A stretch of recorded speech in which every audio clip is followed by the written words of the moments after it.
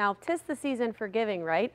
Jamaal Williams, in the middle of the best season of his career, gifted members of the offense and coaching staff with customized robes. So, who's on the robes?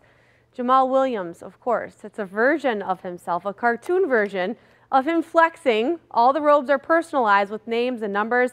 Today, his coach, Duce Staley, was asked if he ever gave gifts to teammates back in his running back days. Like a former life, I did. Yeah. Yeah, um, and I think you should. I think you should. So, uh, you want me to pass a message along, or you trying to say something? Did they butter you up to tell me that? All right. All right. Thank you.